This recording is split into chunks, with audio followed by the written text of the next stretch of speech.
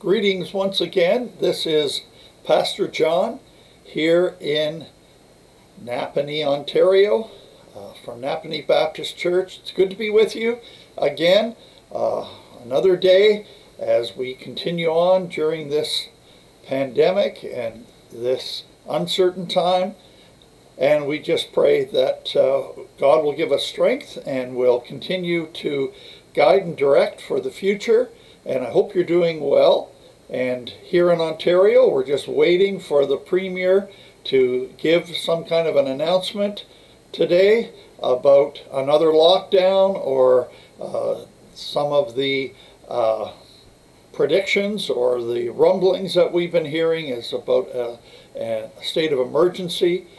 So we just need to continue to put our faith in the living God and trust Him uh, through all of this.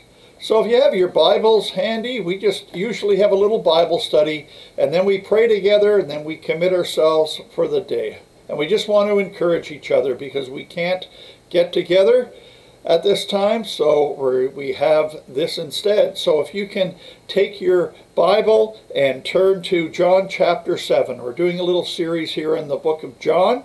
Uh, we have a week in the New Testament, and then next week we'll go back to the Old Testament, to Proverbs. So if you can turn to John chapter 7, and we'll begin with verse 1. It says, After this, Jesus went around in Galilee.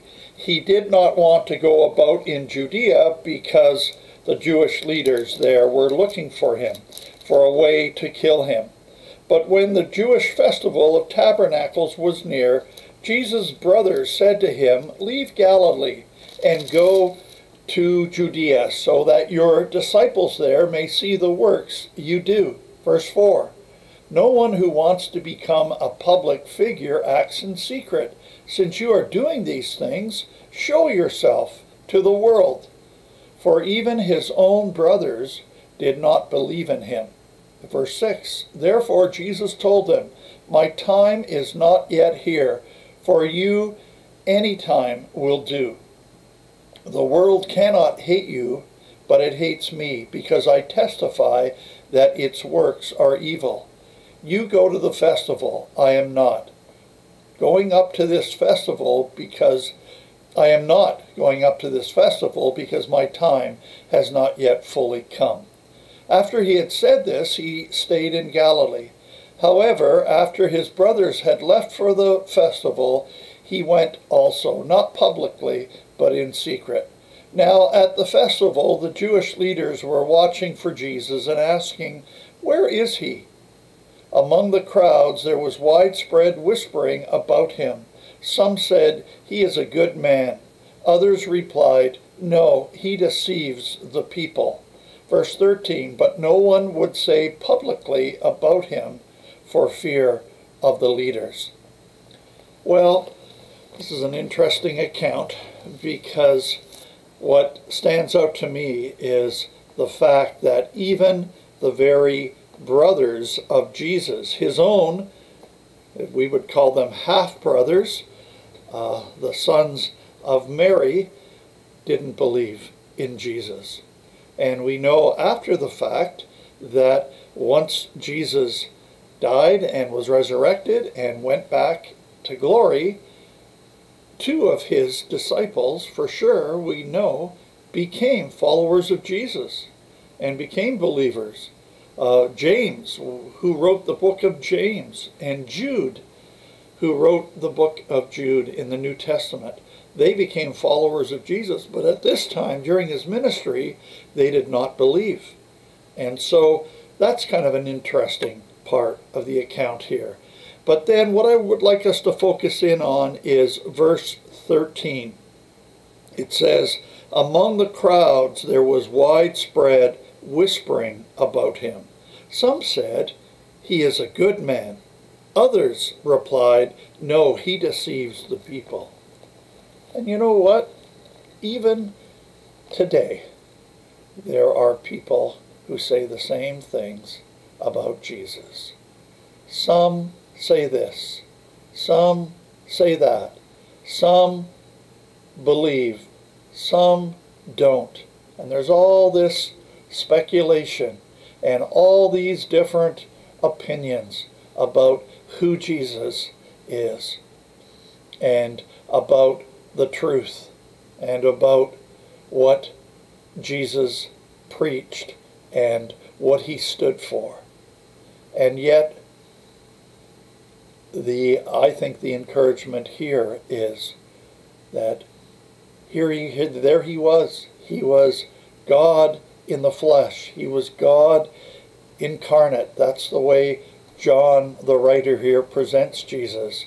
And yet, there he is, God in the flesh himself, appearing to these people, walking around, and yet they refuse to believe. And, of course, throughout all of John's gospel, the main reason why he's writing the book is to get people to believe in the one true Jesus and not to have all these doubts and all these different opinions about who he is, but to believe who he said he was. And he made, Jesus himself made all sorts of declarations and all sorts of statements about truly who he was. He said, I am the way, the truth, and the life. No man comes to the Father except through me. I am the door. I am the life. I am the light of the world. And I think the encouragement for us today is to believe, and to believe who Jesus said he was. And especially as we continue through this time of crisis, to come back to the truth and the foundation of who Jesus is, who he said he was, what he said he was going to do, why he came, all of those fundamentals. That's what we need to come back to during this kind of a crisis, a time of uncertainty, is come back to the rock who is Jesus. Come back to him who is our refuge and believe that Jesus truly is the Son of God. Jesus truly is the way and the truth and the life. And to truly put our hope and our faith in him again. Because he is who he said he was. He is the great I am. He is God himself. And he is able to help us and deliver us and give us the uh, strength and the enabling to carry on. Well, we're going to pray and we're going to commit our day to the Lord. And I just uh, want to encourage you again today. And may you keep trusting our Lord. May you keep trusting the Jesus who he claimed to be in the New Testament. And may you keep uh, looking to him, keeping our eyes on Jesus, the author and perfecter of our faith.